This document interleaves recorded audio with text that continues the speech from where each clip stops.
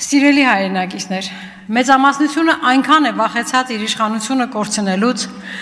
այնքան է վախեցած ադրբեջանցիներին բարկացնելուց, Այնքան է պատրաստական Ալիևի հրամանները կատարելու,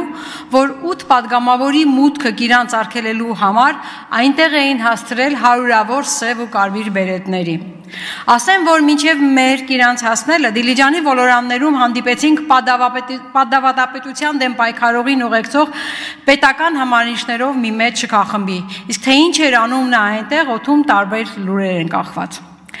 Վախի դրսևորում չէ, ապա ինչ է, երբ գունավոր բերետներին հրամայում են անել ամեն ինչ, որ որևէ падգամավոր չմտնի իրանց, որովհետև Ալիևը նման պահանջ է դրել, որ հանկարծ որևէ падգամավոր չհանդիպի Իրանցի բնակիչներին, չխոսի նրանց հետ, չտեսնի իրավիճակը։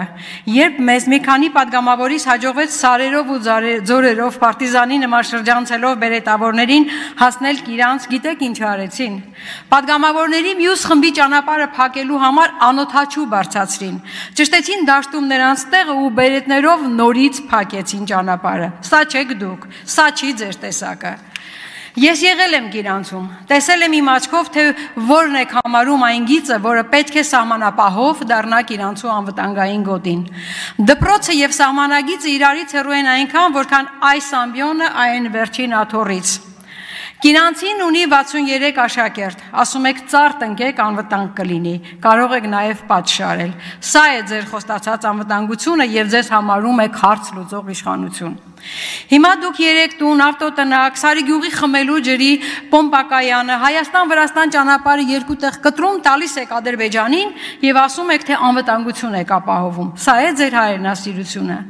Պարոն Թունյանն ասում է, թե իր կարծիքով հայրենասիրությունը հայրենիքը մաքուր պահելն է։ Պարոն Թունյան, հայրենիքը մաքուր պահելուց առաջ նախ հայրենիքը պետք է պահել։ Տիկին խանումը, պարոն Մեհերը իրենց տունը, հողամասը, բակը մաքուր են պահում, բայց դուք որոշեցիք, որ դա իրենց տունը չի, որ իրենց ունեցած սեփակայության վկայականը սխալմունք է։ Ով է ձեզ նման լիազորություն տվել։ Դուք որ Կիրանցու ոսկեբարձու քվեն էիք խնդրում, նրանց ասացիք, որ իրենց վկայականները ուժ չունեն։ Դուք խափել եք նրանց բոլորին, խափելով քվե եք ստացել, հիմա էլ բղավում եք, թե լեգիտիմ եք։ Դուք լեգիտիմ չեք, դուք պետք է հեռանաք։ Այսօր դա է պահանջում հայ ժողովուրդը։ Դա դուք էլ եք զգում։ Հակառակ դեպքում այդքան ոստիկանների պատի հետևում չէիք թաքնվի։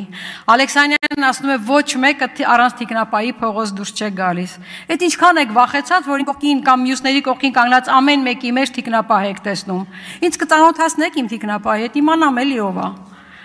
Իշխանությունը պահելու համար երկիրը կտոր կտոր թշնամուն հանձնողը կապիտուլյանտ է, եւ նա պետք է հեռանա։